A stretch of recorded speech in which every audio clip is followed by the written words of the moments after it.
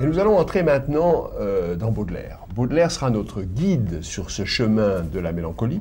Et vous avez écrit un petit livre, un petit livre mais très riche de densité, qui s'appelle La mélancolie au miroir, dans lequel on commence par montrer que euh, Baudelaire, qui connaissait bien la mélancolie, qui l'a subie, qui a, qui a vécu avec, n'est-ce pas, n'a jamais cherché à traduire, en somme, dans ses œuvres, l'expérience qu'il en avait, mais qu'il a, euh, volontairement ou non, peu importe, il a en somme anticipé des, euh, des, des, aspects de la mélancolie que la médecine ne découvrira ou ne décrira en tout cas que plus tard ou en tout cas, il, a éprouvé et exprimé ce que la médecine établissait ou avait établi, euh, avec une qualité d'intuition, une qualité de, de, mise en figure tout à fait extraordinaire. En fait, c'est ce petit livre maintenant épuisé que je songe à reprendre. Euh, Pas tout à fait, parce que moi je l'ai encore trouvé en librairie, donc ah, il, tant mieux, encore. Tant mieux. Les, la mélancolie au miroir, c'est une leçon euh, entre huit euh, qu'on m'avait demandé de donner au Collège de voilà. France sur l'histoire de la mélancolie. Et euh, j'étais parti de l'Antiquité, de, de, du voilà, passé de la mélancolie.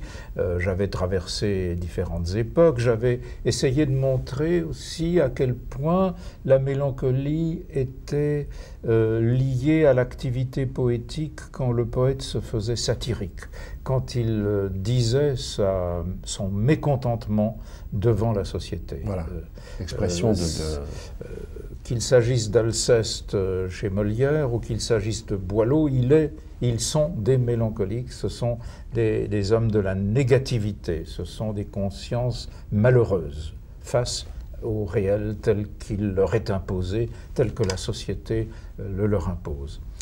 Alors, euh, les métamorphoses de la mélancolie font que vers la fin du XVIIIe siècle, il y a des expériences privilégiées. Et l'une d'elles, d'ailleurs, euh, dont euh, Baudelaire se fait l'écho, c'est la nostalgie.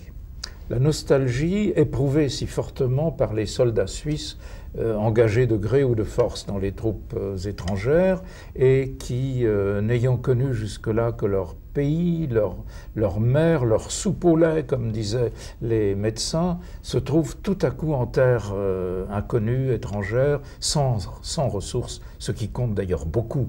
Hein, quand on n'a pas le sou, ben, on boit en Suisse, c'est-à-dire euh, en partageant, en se faisant payer la tournée.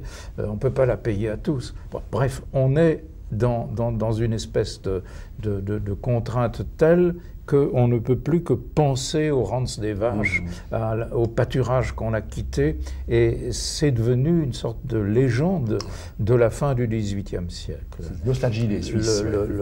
L'idée d'un monde premier, d'un monde heureux mmh. dont on a été séparé. Et cette nostalgie, elle apparaît dans la conscience européenne dans, chez beaucoup de poètes. Euh, elle apparaît chez Wordsworth, elle apparaît mmh. chez bon, quantité de poètes. Euh, elle est aussi présente elle chez est Baudelaire. présente chez Baudelaire. Tout à fait. Elle est présente chez oui. Baudelaire. Mais, curieusement, comment est-ce que ça se présente chez lui? Il y, a, il y a certes quelques images d'enfance. La maison de Passy, où il était heureux mmh. avec sa mère. Oui, oui. Je n'ai pas oublié, voilà. voisine de, de la, la, ville, notre blanche maison. Un poème sublime, mmh. qui est un poème de la nostalgie d'un moment heureux de l'enfance. Mais Baudelaire connaît euh, ce qu'il appelle la, la, nostalgie du pays que l'on ne connaît pas. Il s'agit de quelque chose qui est encore beaucoup plus euh, insatiable et qui ne peut pas être satisfait, c'est le besoin de quelque chose euh, que l'on n'a pas connu et que l'on ne possède pas. Quelque chose qui euh, est un secret et il le projette dans la vie antérieure, il le projette au, fond de, ce dernier poème qui est le voyage, n'est-ce pas mmh. Le gouffre euh, au fond de l'inconnu pour euh, trouver on ne sait quoi. Euh, aussi cette, euh, ce lever du rideau euh, dans, dans, un rêve qui est le rêve de mourir. On attend le paradis, le rideau est élevé et il n'y a rien. Il n'y a rien. Oui. Oui. Donc il y a cette autre horizon de la nostalgie chez Baudelaire qui est euh, d'une importance euh, extrême. Mais d'autre part, euh, chez lui,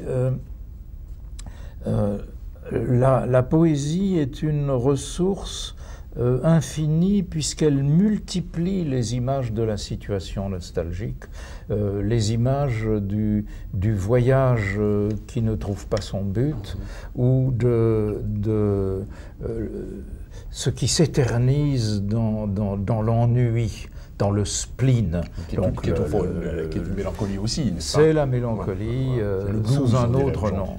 Euh, et spleen et idéal, c'est la première partie du, des Fleurs du Mal, le voyage, euh, l'acte final. Pas, il, il, dit lui-même que beauté et joie sont antinomiques et qu'au fond, beauté et mélancolie sont des compléments naturels. Il, il a des égards pour la beauté satanique, pour la beauté de, Satan. Et ce qui euh, doit être analysé, ce qui doit nous être sensible, ce que le critique doit euh, pointer pour le lecteur chez Baudelaire, c'est l'extraordinaire diversification des figures de la mélancolie et des figures du poète affecté par la mélancolie. Euh, Baudelaire attiré peut-être par les fictions romantiques, par euh, euh, les poètes qu'il lisait, par Hoffmann ou par les poètes anglais, euh, a multiplié les répondants allégoriques de lui-même. c'est la figure du fou, c'est la figure du voyageur, c'est la figure du chat lui-même. Le fameux poème des chats, c'est finalement aussi le poète, euh, puisqu'il est l'objet d'amour, le chat des amoureux fervents, mais il finit par être quelque chose comme une sorte de poète. Euh, finalement, le, le, monde de Baudelaire est un monde très peuplé par une seule figure, le mélancolique, la mélancolie, sous toutes ses formes, dans la pluralité. Et puis alors une des grandes caractéristiques du mélancolique, c'est précisément le miroir, n'est-ce pas? Vous avez dit que Jacques, dans As You Like It de Shakespeare, ne cesse de se mirer dans, dans, les, dans les ruisseaux où il pleure. Et en fait, il y a alors ce thème du miroir est très fort chez Baudelaire, et vous l'avez aussi évoqué à travers les tableaux, notamment la Madeleine de, de Latour, n'est-ce pas, que vous mettez en relation avec le poème La mort des amants usant à l'envie leur chaleur dernière, nos deux cœurs seront deux vastes flambeaux qui réfléchiront leur double lumière dans nos deux esprits, ces miroirs jumeaux. Euh, il y a une merveille du miroir puisque c'est une représentation de soi, mais en même temps le miroir nous rend captifs de nous-mêmes. Et euh, euh, si d'une part Baudelaire multiplie les images de la mélancolie et du mélancolique, devient le pendu euh, qu'il découvre dans un voyage à Citer et, souffre des douleurs du pendu.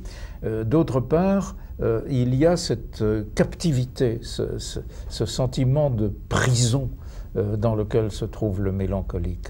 Euh, le sentiment qu'il a de l'éternelle répétition de lui-même, de sa souffrance, l'éternelle répétition du spectacle. Euh, quelque chose constitue pour lui une sorte de cachot. Et, la mélancolie est cette captivité. Oui, vous avez dit quelque part que le mélancolique est celui qui est dans un cachot dont on a perdu la clé, n'est-ce pas Et peut-être que l'être humain tout entier est quelque part. Que, là, on parle beaucoup aujourd'hui de trouver le, le, génome humain, de, de, trouver une sorte de clé de l'être humain. Et en fait, cette clé, est probablement beaucoup plus inaccessible qu'on le croit. Et c'est ce qu'on voit aussi dans ces poèmes de, de, Baudelaire. Mais alors, ce qui est très intéressant, c'est que vous montrez dans ce petit livre votre façon de faire. Comment vous c'est ce que vous appelez votre attention flottante. Comment vous laissez venir les objets et se mettre en relation. Et vous dites, ça paraît, euh, est-ce que c'est moi qui le mets ou est-ce que ça y est déjà? De toute façon, ça fait partie de l'analyse de l'œuvre. Un exemple que je trouve très très intéressant, c'est vous mettez en relation le poème la, la, Lune offensée. Je vois ta mère, enfant de ce siècle appauvri, qui vers son miroir penche un lourd amas d'années et plâtre artistement le sein qui t'a nourri qu'on peut mettre en relation avec la, gravure de Goya, Hasta la muerte. Et puis vous remarquez tout d'un coup que le mot plâtre ne revient qu'une seule autre fois dans Baudelaire, et c'est justement dans le poème dont vous avez parlé, celui qui évoque ses longs repas avec sa mère autrefois, de la nostalgie. Donc il y a l'espèce de cercle, hein. et, je crois que, quand vous relevez ces choses, la, lecture de Baudelaire s'illumine, et que dans cette obscurité, au fond, vous, vous faites ressortir une espèce de lumière. Il faut faire attention à chaque mot, euh, euh, à chaque écho d'un mot, à la place du mot.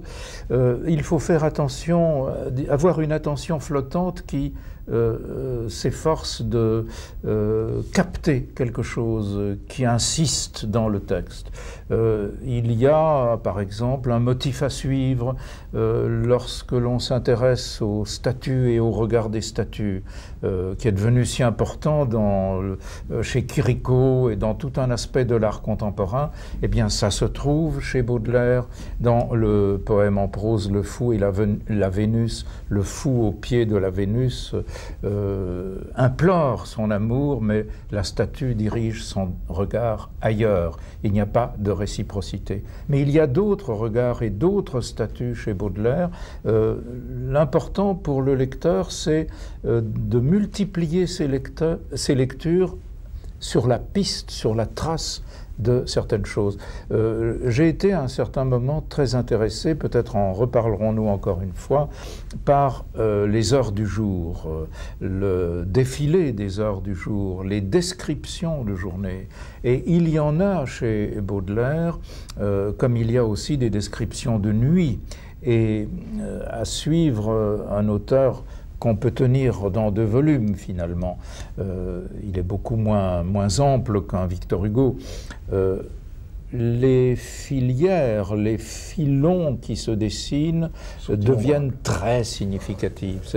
C'est comme si on recomposait l'œuvre en jouant à quatre mains avec le poète, mais en l'écoutant tout le temps, tout le temps. Euh, il y a là, je crois, non pas une méthode, mais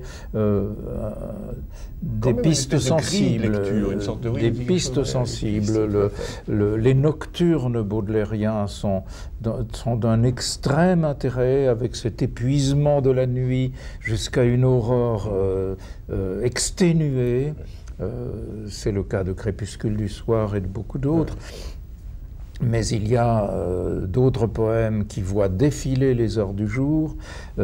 Bref, il y a des approches par le thème il y a des approches par la composition, par, la euh, juxtaposition. Bref, la lecture de la poésie doit être une, lecture plurielle. Je crois qu'il n'y a pas un sens, il y a autant de sens qu'il y a de lecture.